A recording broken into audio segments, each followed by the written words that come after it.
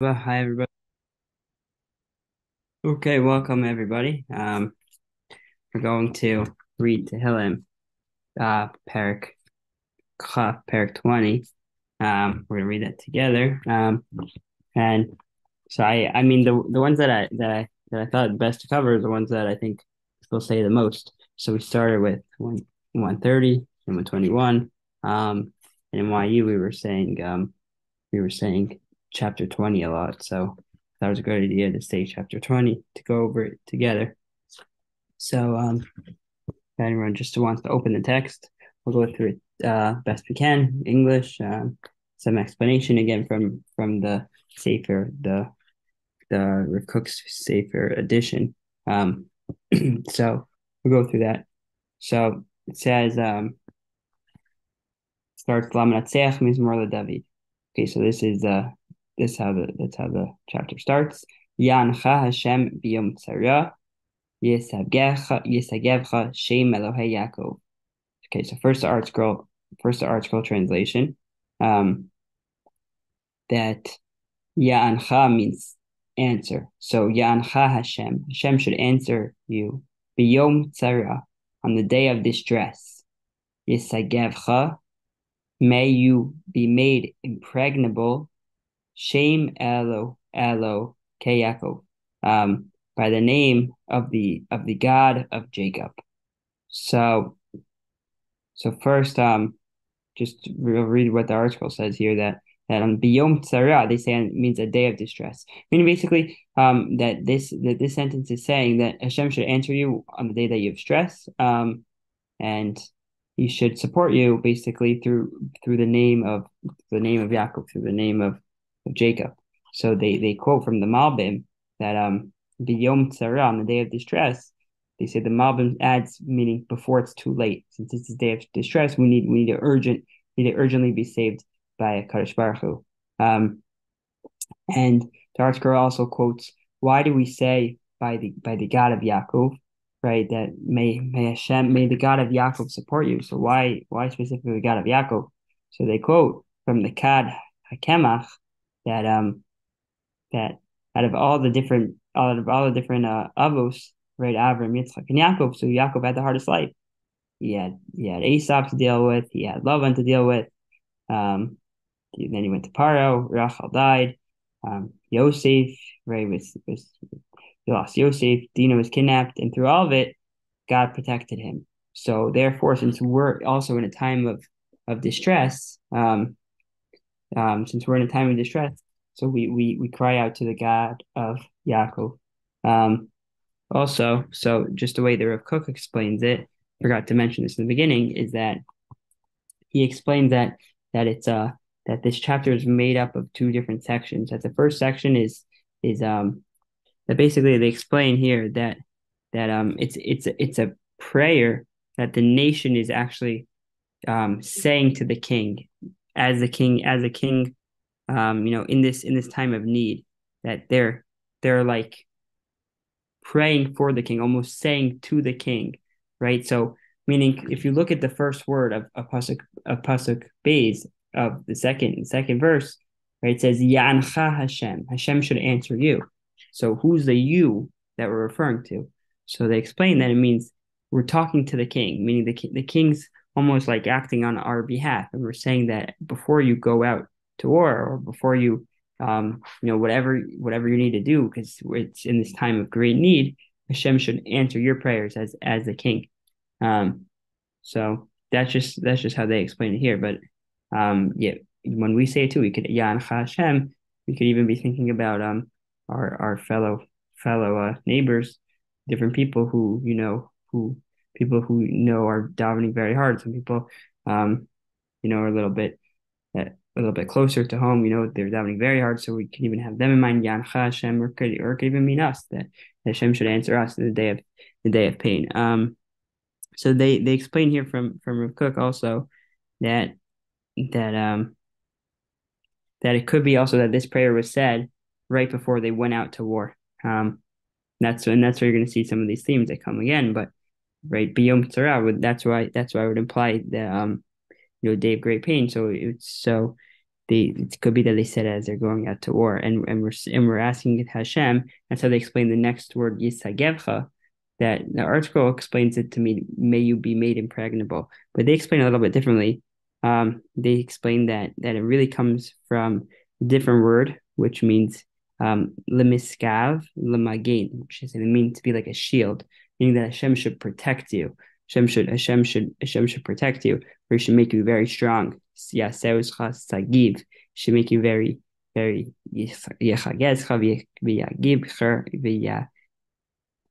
right? He should he should make you very strong. He should make you very might, mighty on this day. Um, yeah.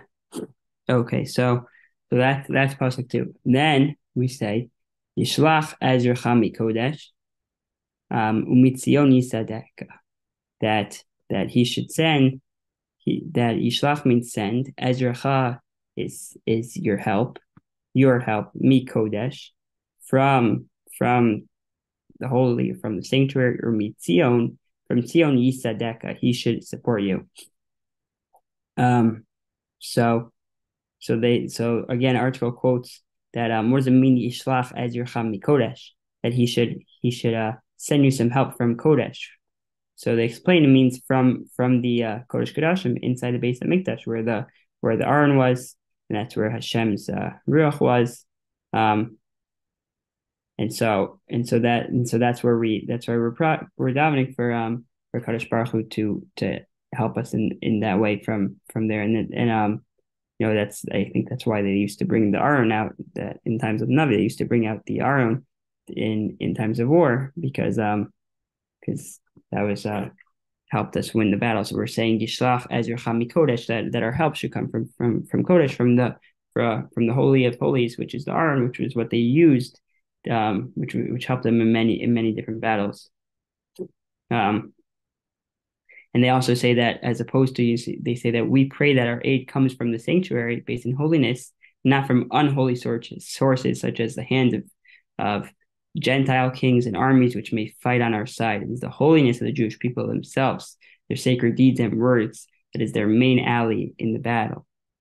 Meaning, our help should, our it's it's a prayer that our, our it's that Sion which should support us, that we shouldn't have to come to rely on on other different nations. We should rely on we should be able to rely on God. That's that's what this prayer is saying in Pasuk Gimel. I just want to see if they add anything here. Um, I think they they basically say along the same line. So that's Pasuk Gimel. So then we say in Pasuk Dalid, Iskor kol min chosecha v'olascha yidash neisela. Um.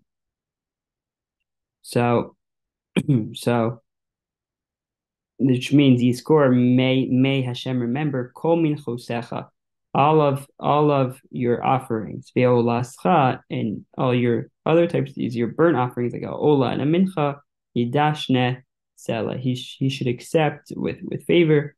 Um, yeah. So so um, on and the you know on a literal trend literal uh I think there's two, there's two ways to look at it. This pasuk that there's a literal explanation is that Hashem should remember basically all the korbanos we had, um, all the korbanos we had, and that should be that should be a merit for Hashem to protect us in this time of battle.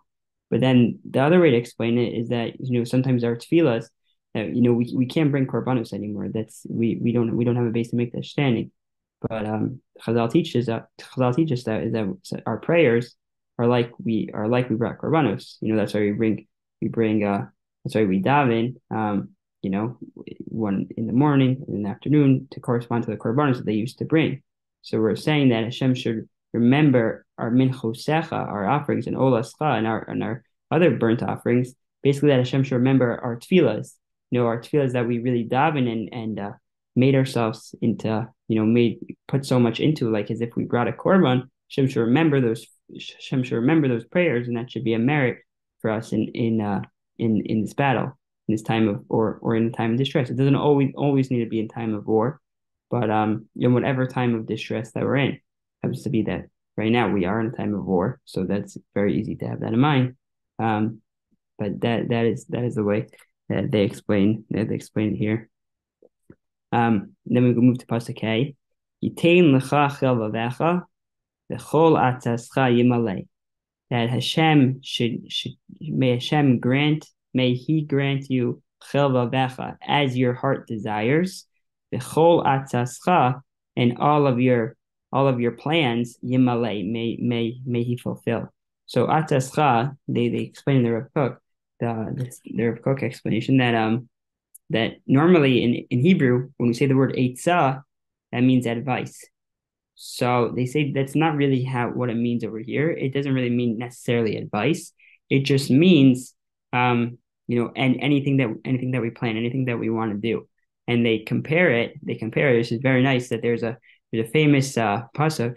Um, I think it's they made it to, into a song that says in uh in uh Yeshaya, Utsu Eitza Vitufar Dabru Davar Velo Yakum Ki Manu Kel that it's that um the pasuk says it's talking referring to the enemies enemies of enemies of the Jewish people that utsu etza that when they when they make a plan right vitu far it will be it will be foiled dabru davar that they're gonna they're gonna say that they want to do something they're gonna agree on an action a plan of attack against against the Jewish people velo yakum and it won't sec- it won't succeed ki imanu kel because Hashem Hashem is with us. So their plans are not to work, right? But so so they explain that as opposed to the non non Jews, the enemies of God, right? Who enemies of the Jews who make plans and and they don't work because Hashem's on our side, right? All of our plans, Yimale. Hashem's gonna Hashem's gonna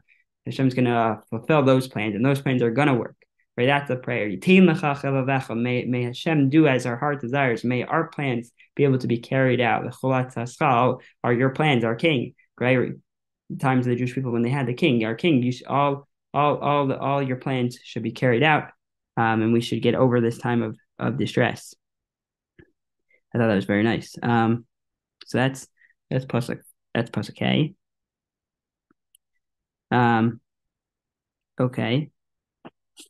Okay, so then then we say um Nirana nab Yeshua secha uveshem elo kenu nigdol yimalei Hashem kol mishalo secha. That then we say, may we Niranana means may we sing, may we sing for joy, Bishua Secha at your salvation, Uveshem Nigdol, and in the name of Hashem we shall uh, raise our banner Nigdol. Yimalei Hashem Kol Mishalosecha. May Hashem fulfill Kol Mishalosecha. All, all, all of uh, all of your requests. Um. So. So they the the in, in the it seems kind of like a little bit like a repetition of of uh it's almost like a little bit of a repetition of, of the pasuk that we just read previously, right? Five says, right, everything that we request Hashem should answer you. So this seems to be a little a little similar. Um, but it's it's more than that because it's saying that right. The first part is saying that that when this happens, right, when Hashem when Hashem listens to uh, when Hashem carries out what we want, so then then we should merit right. It's a it's a prayer that we should merit to to sing the Ranin Lashir Lismoach Yeshua She Tishava Mitzarascha that that because we should we should merit to to basically rejoice when we're saved from this from this uh, time of need. Um, yeah. Um, and then they they so they also explain that that um nigdol right. So let's go back right. Nirana bishua secha. May we sing for Hashem and salvation. Uveshem elokenu nigdol. So the way the ArtScroll explains it is that, and in the name of Hashem, we should raise our banner. So they explain in Rav Kook that it doesn't it doesn't mean what does it mean raise our banner? So they say it means that we should basically all all be able to gather together, right? that nitasef after ocha kavana nitasef lehodaya v'simcha Yeshua that we should gather and basically be able to praise Hashem because of this great joy that um that uh that that we were saved from this from from this time of need. Um, and then it says Yimalei Hashem kol mishalutecha that it's again this that's like a little bit of repetition that Yaseh kol ma shetavakesh mimenu b'tefilascha b'dibor zeh simu es bracha. So so that um that basically everything that everything that you ask, right? It's again, it's a prayer to the king. That's how they explain. It's a prayer to the king or for the king that that uh, we're saying to the king that everything that you ask from Hashem, right? Yimalei Hashem kol um, that everything you ask Hashem to do, He should carry out. So that's that's how they that's how they divide the first half of this chapter, meaning to meaning to like just summarize and put it all together that the king's going out. I mean, he's uh, it's a time of need, and the king needs to get stuff done to to uh, work on behalf of of Am Yisrael, either in time of war, in the time of other great needs. And we're, we're, we're praying for him that Hashem should answer his prayers. Um, it should be from it should be from the Kodesh, from the sanctuary that Hashem should should answer. You should remember the korbanos that we brought, or the tefillahs that which were like korbanos that we brought. You should carry out as opposed to the, the as opposed to uh, our enemies, Hashem, which their plans are not carried out. Hashem should carry out our plans, and then when that happens, we we should uh God willing we will sing for joy.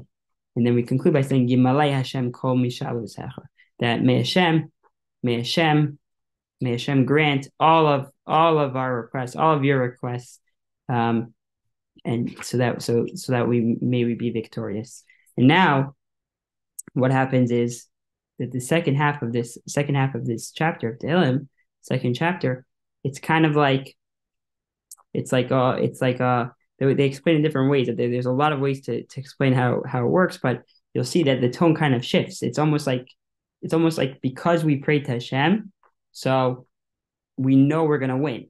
That's basically that's basically how they explain it, and they have another explanation, which is that it, they're like because it's it's really a tale of a tale of two. It's the, this chapter is really a tale of two different stories. That the first first half is you know, we're, we're, we're begging to Hashem, please save us. We need it. Listen to our request. And then the second half is like, okay, Hashem, Hashem's the best. Hashem saved us. So like, what happened? So he goes so far as to say that there's an explanation that the first half was before the war, and the second half was after we won the war. Um, so that's that's one that's one way to explain it. But another way is that that once we once we uh pray to Hashem and and you know by saying these words we strengthened our emuna and our belief in Hashem. So we know what's going to happen is that Hashem is going to protect us, and and and we're going to to merit to see great things. And that's why you'll see in the second half that the, the tone really shifts. So that so that starts with with uh pasuk Zayin, pasuk seven, chapter verse seven. Sorry, Ataya dati. Now I know. Ki Hoshia Hashem Mishicho, because Hashem has saved his anointed one. Ya'aneu Mishmei Kocho, he will answer him from his sacred heaven, yemino, with uh with the victories, the strength of the victories, yemino of his of his right arm. Um, yeah. So they explain that yemino, this this word of yemino, um, means um means like uh it's they always use the right hand in, in relation to be to being saved especially especially for Mashiach. So that's why that's why that's why uh it uh, quotes Yamino the right hand. But um yeah, but it's basically it's basically saying uh basically saying that what, what we spoke about that that because because of because we, we prayed Hashem, now we know, or even at the after the battle, now we know that Hashem Hashem is going to save the, the anointed one. And this is a very famous pasuk, pasuk Chet, um, which is a, which is very powerful. Um, in fact, um, we we had into Tehillim and YU the uh, the other day. We I mean we do it some weeks. I don't, I don't really know exactly when we do it, when we don't do it, but sometimes they do a massive gathering and we we all gather to to say Tehillim, all of all of undergrad and smicha and have some MTAs, uh, MTA students, and we all gather. We say Tehillim for around uh, like ten minutes, say a bunch of different chapters, and then we have then we uh then we say mincha together. So we had that at this past Monday, um, and they invite different people up to say different different chapters of Tehillim. So so chapter twenty was uh was said by uh our uh, president Rabbi Doctor Ari Berman. He he had the he was reading chapter twenty, and when he got to this pasuk, um, you could tell that he said it with a little more little more meaning. Um, and he's usually like a pretty relaxed guy, but we got to this pasuk. I think he almost almost like almost like tears in his eyes as he was saying that, as he was saying this pasuk. So I'll read. So with that introduction, we'll see pasuk eight um, that it says, "Ela varechav." Some are with chariots, ve'ela vasusim, and some are with horses. Va'nachnu b'shem Hashem Elokeinu naskir. But we, b'shem, in the name of Hashem Elokeinu, our God, naskir. Um, yeah, so that's a pasuk. Um, I'm gonna. I, I want to read it. I want to read it in the Rav Kook Siddur because I think they say it very nicely. So they say Ela v'rechav yesh me ha'oivim hanilchamim banu shem chazakim berichbam v'utchim alav. There are some of our enemies who who who we fight against that they're very strong, um, and they have very very very powerful uh they have very powerful uh armies basically, and and they rely on them um and there's some there's some of our enemies that they're very strong. They have a lot of horses, and they rely on them too, and they're certain that they're going to win because of those. But what about us? We're going to call Hashem's name and we're going to be saved because of that. Yeah, so that's so that's that's the explanation. Um, right? That because because we because we call out to Hashem, because we know we have Hashem on our side, um, we we know we're gonna be we know we're gonna be victorious. That's how we fight. We fight with, and we also fight. We have a we thank God we have a very strong army, but we but because we also have the name of Hashem, so we know we know we're gonna be victorious. Amen. And I saw I'm looking for it. Just, I want to see exactly what they quoted. That yeah, so they said this is very nice that they quoted that they said this is actually this is actually a pasuk in the Torah that says the same thing. I mean, this is Tehillim, but also also in the Torah says the same thing. They say, they explain that the pasuk in the Torah says, "Ki when you go out to war against your enemies, v'ra'isa sus v'rechev am rav mimcha. When you see this, uh, you see their horses, you see their chariots, you see this nation, right? That they they seem much stronger than you, much more powerful than you. They say, Lo tira mehem. Don't be afraid of them. Ki Hashem Elokecha im imach hamalacha me'eretz Mitzrayim. Because Hashem is with you. Hashem is with you. You have nothing to be afraid about. So they say, so so that's to say the same thing is going on here. That we're saying Ela. There are those who have, those who rely on their on their armies, Eli Basusim, on their horses, but we have Shem Hashem located in Askir. Hema. So then we go to, to nine. Hema karvin afalu vanachnu kamu vani sodad. Um, that they dropped to their knees and fell.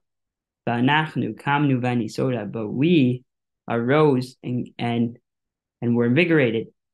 So it's either it's either talking about the future about what's going to happen, or again, if you understand that this is happening even after the war, that we're saying, yeah, they they fell and we and we were able to get up. Why? Because we we had we had a we had a Shem on our side. Yeah. Um yeah. Um okay. And then we say so so so so that's that's all we basically have that's that's chap that's part two of this of this chapter. Again, part one is that we're we're praying for the king on behalf of the king so that everything everything all of his requests get answered. And part two is um, that we know with certainty that we will win or that we even did win the war. And then they then there's one more pasuk, pasuk yod, ten. Um, and they explain here that ponek halam mispalim el Hashem, that everyone basically turns to Hashem, um, and and they they ask for one one last request, one last request, and they says it could be that that even this this chapter was said as or this phrase was even said as they went out to battle. It says Hashem Hushia, Hashem save us, Hamelach Yanenu Biyom Karenu. May the King answer us Biyom Karenu on the day we called him. So they explain that because we were praying on behalf or for the king, that his tefillahs should get answered. So we so we have to explain that you know okay we're praying for that king, but who's the real king? Who's the the Melech Malchayim Malachim? That's Hashem, and Hashem is gonna save us. Hashem, you should save us as we go out to war, step on the battlefield. B'yom Karenu on the day we call Him, which is today and and every day. And that's that's basically chapter 20. Does anyone have any, any other things to add? Any comments? That's just again